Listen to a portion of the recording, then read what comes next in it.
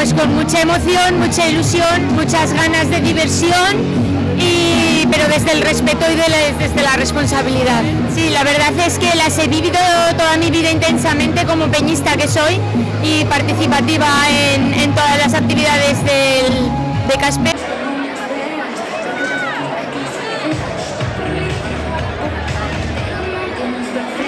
Pues yo desde que entré en la concejalía llevo dos meses, pero la, anterior concejala de festejos, Elis Ventura, eh, llevaba pues como todo el año.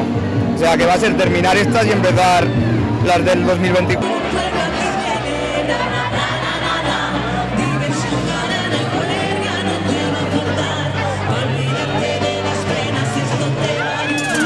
Hombre, pues, pues es que es que es una alegría tremenda, ¿sabes? Eh, yo qué sé, surgió, mi hermana me lo comentó y además en aquel día estábamos comiendo juntos y fue, fue el mejor momento. Y entre la familia, con mi mujer, mi hermana, bueno, ahí estábamos y la hicimos.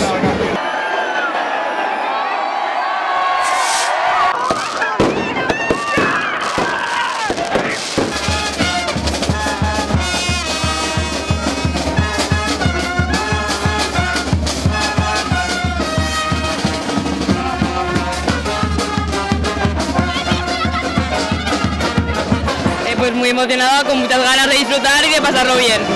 Yo muy ilusionada y muy orgullosa de poder hacer esto por mi pueblo. Con muchas ganas de disfrutarlas un montón.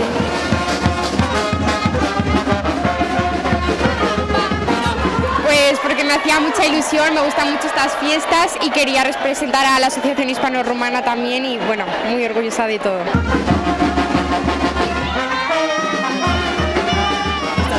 La presentación, yo creo, porque somos el centro de atención, eh, la atención va enfocada a nosotras y al fin y al cabo nos están presentando al pueblo.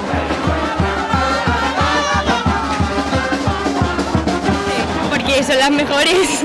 Son las mejores fiestas, las que más se disfrutan y las que mejor nos lo pasamos. Y que vengan, que se van a pasar muy bien.